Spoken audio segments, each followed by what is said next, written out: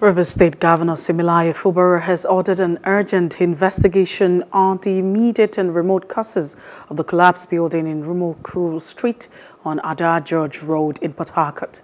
We have been told that four persons sustained injury and they have been rescued and have been taken to a hospital for treatment.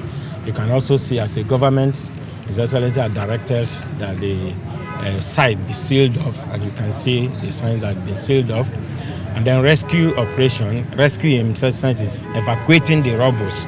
We are not talking about any human being because from the audit we carried out, nobody is involved. Having done this, any moment from now, equipment will come here to clear these roads. And then what is important is the fact that government is not going to take this lightly. Government is going to institute a proper probe of the immediate and the remote cause of this building collapse and everyone that is involved will be brought to book. So far, what I am seeing, I'm not impressed because I believe uh, the engineer who did the job should be able to account for why it should be like this. What I am seeing, if the reinforcement is proper, it should not be like this. But right away, we won't be able to tell you actually the cause of the collapse. No, this is a two-story building, but it has submerged.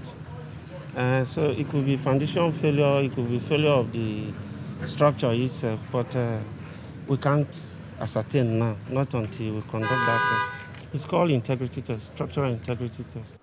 Hello, hope you enjoyed the news. Please do subscribe to our YouTube channel and don't forget to hit the notification button so you get notified about fresh news updates.